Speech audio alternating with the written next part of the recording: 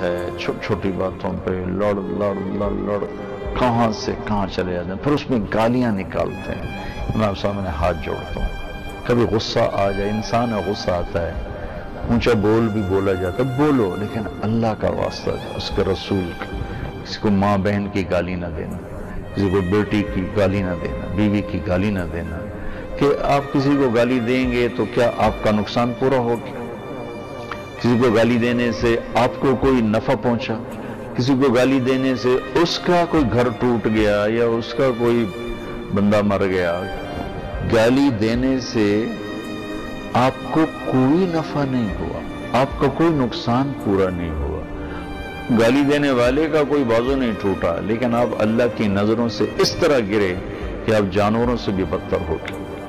میرے نبی کا فرمان ہے وَإِذَا تَصَابَتْ أُمَّتِي سَخَطَتْ مِنْ عَيْنِ اللَّهِ، جب میری امت گالیاں نکالیں گے تو اللہ کی نظروں سے گر جائیں گے۔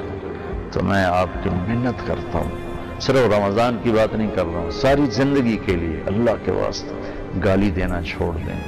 انسانی، انسانیت کے ماتھے پر کولا سیاہ داغ ہے۔